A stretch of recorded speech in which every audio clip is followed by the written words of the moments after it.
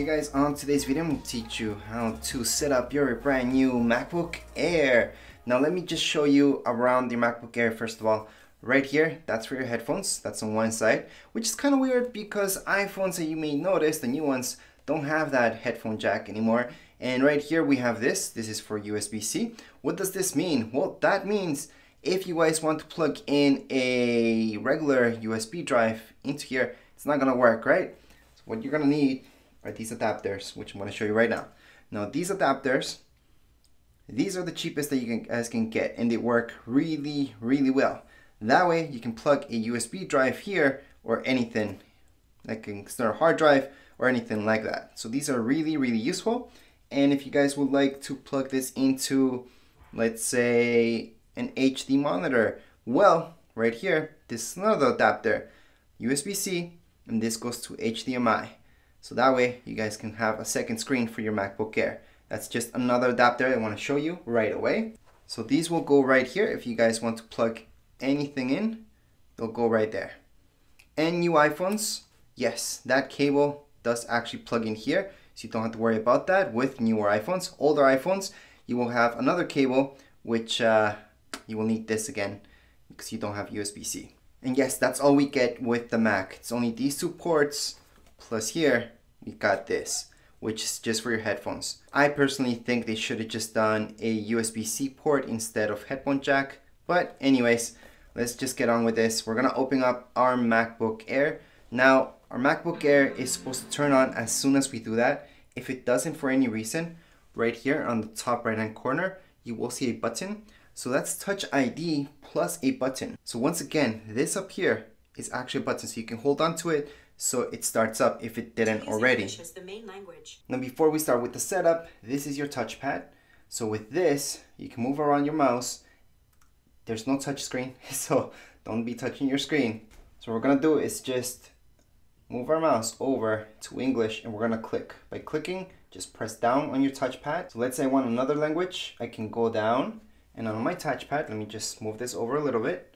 I can scroll down with two fingers. So I can use two fingers to scroll down and use another language if I like, or if my language is on the top, just go back up and select that. To select the language, you do have to click on it, so make sure to click on it. The main language, press the return key.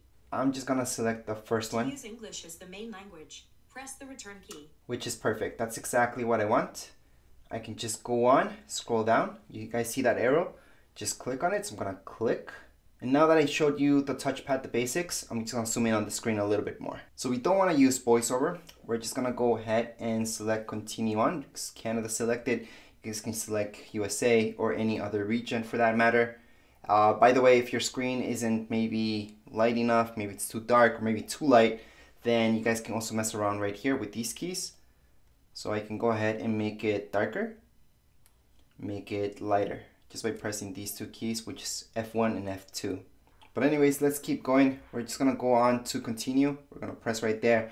And here, it just gives us a little bit more about accessibility. We can actually do a lot with accessibility. We're just gonna go ahead and not now. So this is really great from Mac accessibility. So we can go ahead and select any one of these to just get help with it. But for now, we're just gonna go in not now. That's on the bottom right hand side. And basically, we're just gonna keep tapping on the bottom right hand side where it says continue. Right now, we do need Wi-Fi, so we're gonna have to select a Wi-Fi network. You do wanna highlight, there's other network options on the bottom left hand side. And in my case, I'm just gonna look for tech and design, which is me. I'm gonna go ahead and select it. So let me scroll over it, click on it. I'm gonna type in the password for my personal Wi-Fi. Once I do that, I just press on continue and it's gonna take me to the next page.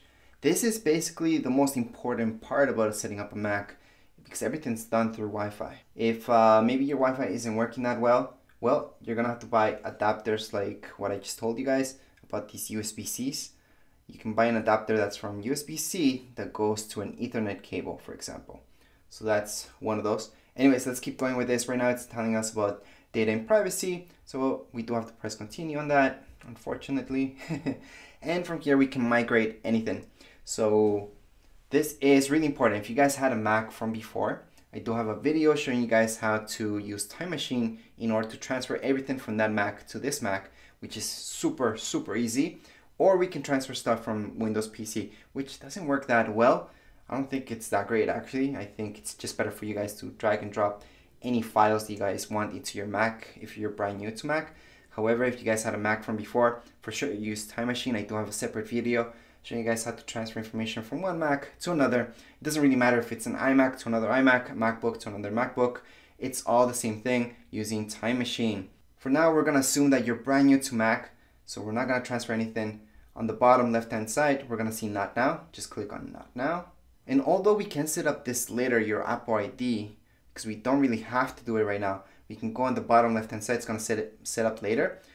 Again, we don't really have to, but it's very important to set it up because all your apps and stuff like that, your contacts, everything else that you want to be synced up will go with your Apple ID. So that's why it's very important to just put in an Apple ID right now. If you don't have one, I do have a separate video showing you guys how to create an Apple ID. But that is our second option here. So we can always just tap on our second option where it says create an Apple ID and go ahead and do that. Anyways, once you guys put in your Apple ID, just put in your password and then we're gonna hit on continue. From there, you might have two factor, so it might ask you for that. This point, just read over this and just click on the bottom left hand side. You guys will see this check mark.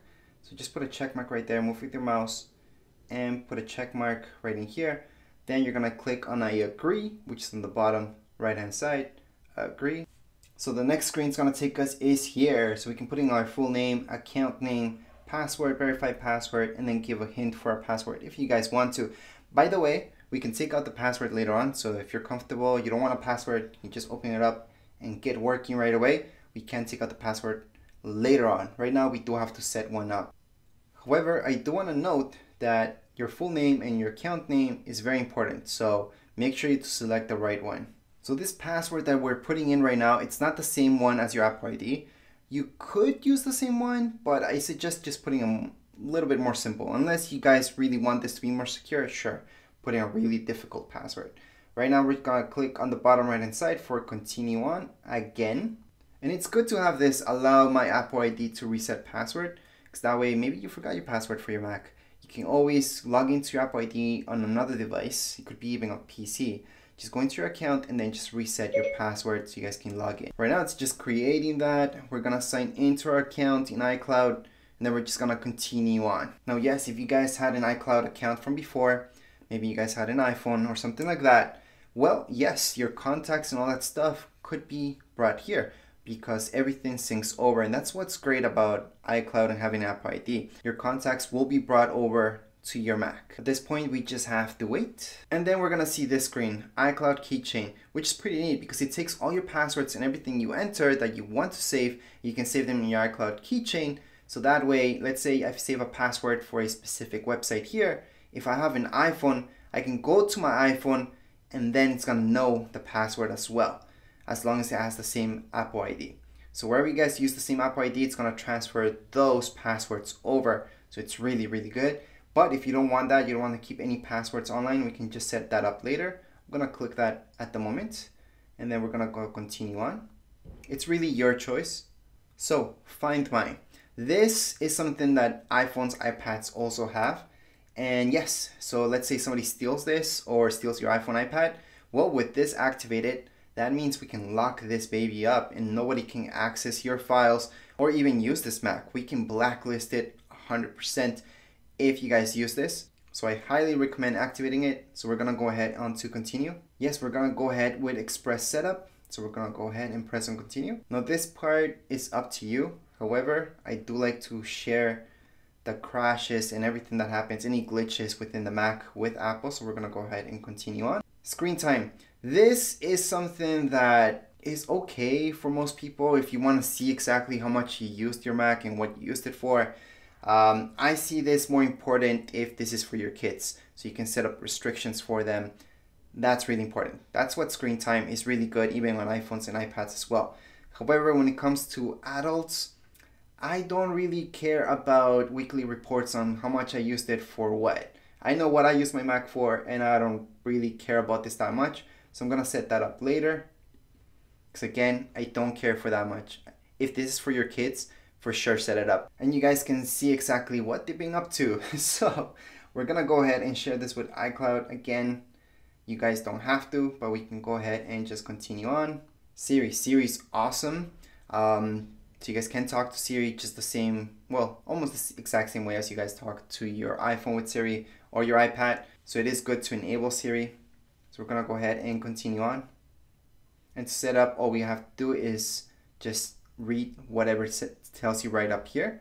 Okay, so I turned off my iPad, which is behind me, so it doesn't get in the way. That's exactly what we're gonna have to say up there. So we're gonna continue on. Hey Siri. Hey Siri, open the documents folder.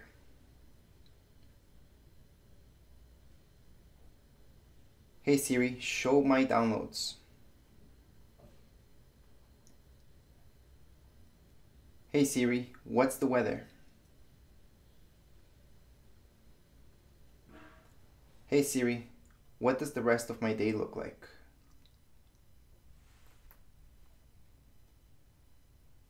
And that's it, my Siri is ready so I can continue on, bottom right hand side. And I can share my audio recordings or not. For me, I don't really care. I'll share my audio recordings because it's just me asking Siri what's the weather most likely. continue on. You can choose not now, by the way. Alright, a lot of people ask me about encryption when it comes to Mac, and this is it. Right now we can turn it on or just leave it off. But once again, this is all up to you. I suggest doing it so, so I'm gonna continue on. Just makes it more secure. Now, as mentioned from before, we do have Touch ID that's on the top right hand corner. So go ahead, we're gonna set it up right now. So we're gonna go ahead and continue. However, if you guys don't want that Touch ID, just go on setup later. Maybe you want a lot of people to use this Mac and you don't want to set Touch ID for every single person, which you can, by the way, you can add more Touch IDs, then go on to set up later. But uh, if you guys like the Touch ID, go ahead and set it up. So we're gonna go ahead and just hold our finger on top of here, gonna lift it, hold it, lift. If you guys had an older iPhone, which had Touch ID, it's the basic thing. You just have to lift it and touch, lift and touch, lift and touch. So that's all we're doing until it reads our fingerprint. And there we go. Continue on again. And this is about Apple Pay. Some of you may want this, others not. In this case, we're gonna set up later because we don't wanna put in your credit card at the moment. So set up later. And right here we have a pretty cool feature by Apple, which you guys can have a light mode, dark mode, or auto. That means that during the day, it's gonna turn out this light mode where everything is white backgrounds, let's say. And then our dark mode would be at nighttime where, yes, at nighttime it's gonna turn dark. It's just better for your eyes. It's not as harsh, right? So we can turn on auto if you want to, or always have it on dark. I like it to always have on dark. It's just my personal preference. However, to make videos such as this one, I kind of have to make it like this it's better for the screen and to record. But other than that, I would suggest going for dark mode. At the moment, we're just gonna go on to continue on and True Tone display, which is pretty neat. So it just tells you this. Hold on, let me just press on it. So if I press on here, you guys see that slight difference in the color that just changed? That's what True Tone display is all about. So I'm gonna continue. It's just something that Apple likes to brag about, kind of. And it's pretty good. It's pretty good tech, actually. Because it does look at your ambient light. And that's how it shows you the screen according to what settings of light you guys have at the moment. So right now we're actually done with the whole setup. That's it guys. You guys can get started using your Mac. Just gonna show you some basics so you guys can get started. On the top right hand corner, that's basically the most important part because you're gonna have your Apple logo up there. Let me just show you your Apple logo up here. Click on it. And from here, you're gonna shut down and everything like that. If your Mac gets stuck for any reason, yes, you guys can use that Touch ID as a button to shut it down. So you can hold on onto the button to turn it off. And you should customize a lot of stuff on your Mac because that's what's great about Macs. So go down here where you guys see system preferences and start customizing because Macs do have right clicking, for example. Um, your mouse doesn't have to be this slow, for example. We can actually tap. We don't have to always click on our touchpad. So here's our trackpad. We don't always have to click on it. We can actually just tap on it just like you do on an iPhone or iPad and it's gonna know that you're clicking. So we can set that up down here below. You can go on and tap to click. So click right there. And right now I don't have to click. I can just tap, for example, tap. It's gonna close that up. So I can do that within my Mac, and that's really awesome. Other than that, go on, take advantage of everything you got here, including Apple TV. So it does give us only seven days for free. Before they used to give a year for free, but I guess they have more content now. So that's why they're only giving seven days. It's just a channel. That's all the content they have, by the way. So just want to show you guys that just in case. There are a couple good shows, at least in my opinion. There's only a few. Anyways, for now, we are done with the setup. That's all you guys had to do to get started. If you guys want to find out more stuff about your Mac, I will be doing a manual just to get you a little bit further into it. But I do have something uploaded already on my channel as far as MacBook Airs go. That would be it for this video. If you guys have any comments, questions, you guys can write down here in comments area. And don't forget to subscribe and rate. Thank you.